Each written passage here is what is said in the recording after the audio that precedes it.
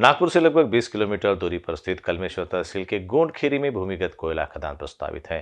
गोंडखेरी परिसर में कोयला खदान का पट्टा अदानी पावर महाराष्ट्र लिमिटेड को दिया गया है। यह भूमिगत कोयला खदान शुरू करने का निर्णय केंद्र सरकार ने लिया है, लेकिन इस कोयला खदान के आसपास के 24 प्रमुख गाँव और 80 से ज़्यादा छोटे गाँव में इसका विरोध किया है।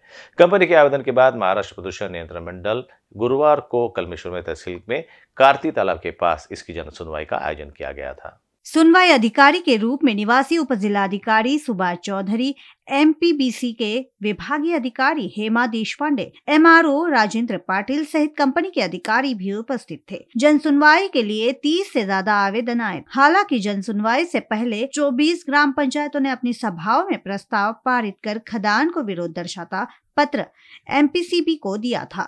अपेक्षा अनुसार विरोध करने वाले ज़्यादातर गाँव के ग्राम पंचायत के पदाधिकारी व ग्रामीणों सहित पंचायत समिति, जिला परिषद सदस्य भी सुनवाई में उपस्थित थे। इस अवसर पर सावनेर के विधायक सुनील केदार, काटोल के विधायक अनिल देशमुख व पूर्व विधायक रमेश बंग सहित कलमेश्वर पंचायत समिति सभापति प्रभाकर पवार, उपसभापति अविनाश पारदे, जिला परिषद सदस्य भारती पाटिल, राजू सुके, नितिन कालबांडे प्रदीप चनकापुरे आदि उपस्थित थे।